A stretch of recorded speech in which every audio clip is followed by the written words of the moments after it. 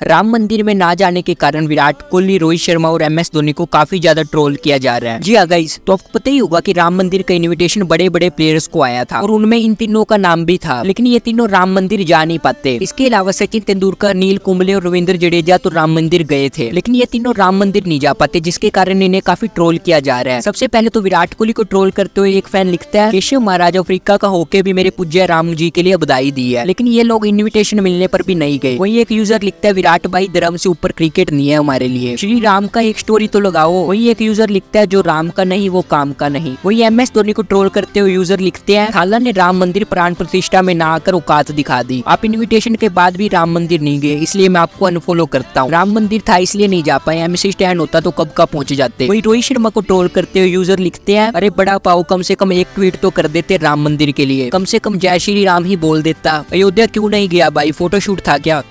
रुको जरा।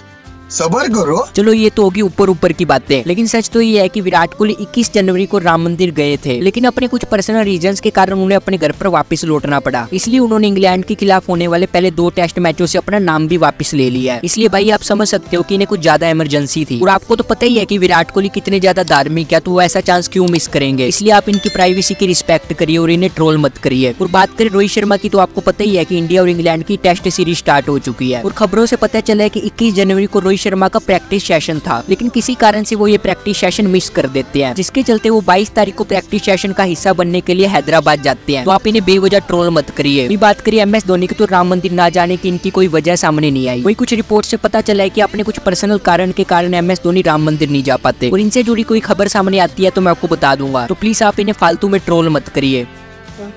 ऐसी और भी इंपॉर्टेंट वीडियोस के लिए वीडियो को लाइक और चैनल को सब्सक्राइब ज़रूर करें।